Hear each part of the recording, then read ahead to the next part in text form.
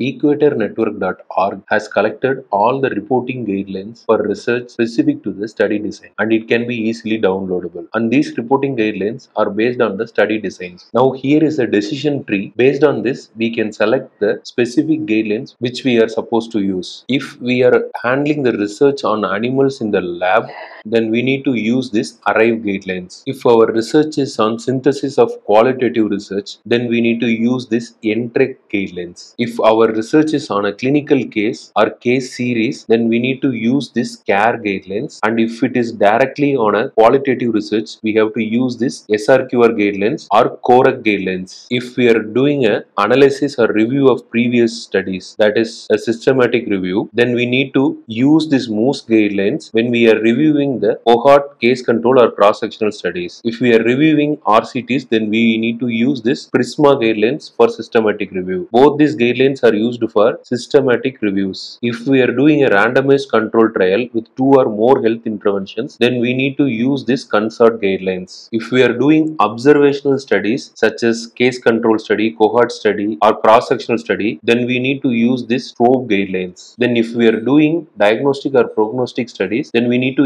use either tripod, remark or STARD guidelines based on the situation. If we are looking at the accuracy of a new or alternative diagnostic test against an established one, then we need to use the STARD guidelines. If we are looking at the prognostic value of the biomarkers, then we need to use this remark guidelines. If we are looking at the general prediction model for a diagnosis and prognosis, then we need to use this tripod guidelines. All these three tripod, remark and STARD guidelines can be used for diagnostic or prognostic studies depending upon the situation. There are certain guidelines which has been missed out in this decision tree. They are for clinical practice guidelines, we use AGREE guidelines or RIGHT guidelines. Then for quality improvement studies, we use square guidelines, S-Q-U-I-R-E guidelines. Then for economic evaluations, we use CHEERS for study protocols. We use SPIRIT guidelines or PRISMA P guidelines. So these are the guidelines which are missed in this algorithm. Clinical practice guidelines, quality improvement studies, economic evaluations and study protocols.